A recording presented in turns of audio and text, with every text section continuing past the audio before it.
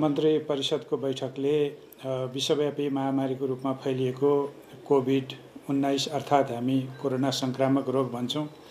यसको रोकथाम र नियन्त्रणका लागि सरकारले सङ्क्रामक रोग ऐन दुई हजार बिसको दफा दुई बमोजिम जारी गरेको आदेश जनताको जीवन रक्षाको लागि भएको र हालसम्म यो आदेशको पालना गरी साथ दिनुभएकोमा सबै देशवासी दिदीबहिनी दाजुभाइहरूलाई धन्यवाद दिने र आगामी समयमा पनि यसै गरी नै सबै देशवासीको साथ सहयोग रहने सरकारले अपेक्षा गरेको कुरा एउटा पहिलो निर्णय हो। र यो विश्वव्यापी महामारीको रूपमा फैलिएको कोभिड उन्नाइसको सङ्क्रमण फैलिने सम्भावना देखि नै रहेकोले नेपाल सरकार मन्त्री परिषदको मिति दुई हजार छत्तर बाह्र चौबिस गतेको निर्णयअनुसार सो रोग रोकथाम र निर्मूलन गर्न सङ्क्रामक रोग ऐन दुई हजार बिसको दफा दुई बमोजिम मिति दुई हजार सतहत्तर साल वैशाख तिन गते बुधबार। मध्यरातसम्मको लागि नेपालभर लागू हुने गरी जारी गरिएको आदेश। हाललाई मिति दुई हजार सतहत्तर वैशाख पन्ध्र गते सोमबार मध्यरातसम्मका लागि नेपालभर लागू हुने गरी निरन्तरता दिने र सोको सूचना नेपाल राजपत्रमा अतिरिक्ताङ्क अतिरिक्ताङ्कमा प्रकाशित गर्ने निर्णय भएको छ।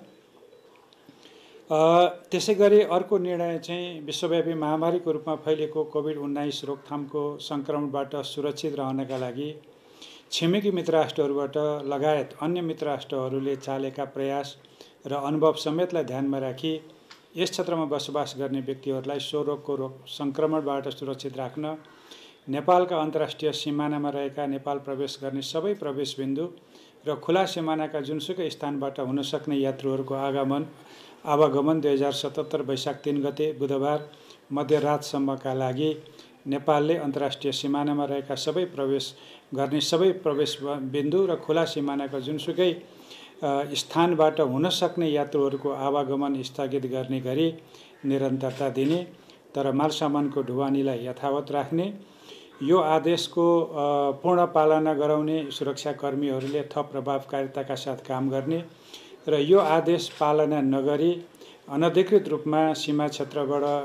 प्रवेश गर्ने व्यक्तिहरूलाई अर्थात् नेपालमा प्रवेश गरेका विदेशीहरूलाई स्थानीय प्रशासनलाई सूचना जानकारी नदिइकन लुकाइएको पाएमा त्यस्ता त्यस्ता व्यक्तिहरू समेतलाई नेपालको प्रचलित कानुन बमोजिम कारवाही गर्ने निर्णय पनि आजको मन्त्री परिषदले गरेको छ। र समग्रमा चाहिँ आज भएको अर्को निर्णयमा नेपाल सरकारका सचिवहरूको बढुवा छ। र यसमा प्रशासन क्लस्टरका सहसचिव अर्जुन पोखरेललाई सचिवमा बरुवा बरुवा बढुवा गरी प्रदेश नम्बर दुईको प्रमुख सचिवमा पदस्थापना गर्ने। र प्रदेश नम्बर दुईका प्रमुख सचिवलाई सुदूरपश्चिम प्रदेशको प्रमुख सचिवमा सरुवा गर्ने निर्णय भएको छ। त्यसै गरी इन्जिनियरिङ क्लस्टरबाट सागर राईलाई सचिवमा बढुवा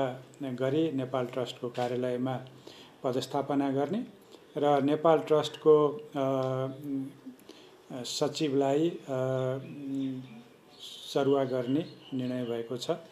आजका मुख्य मुख्य निर्णयहरू यिनै हुन्।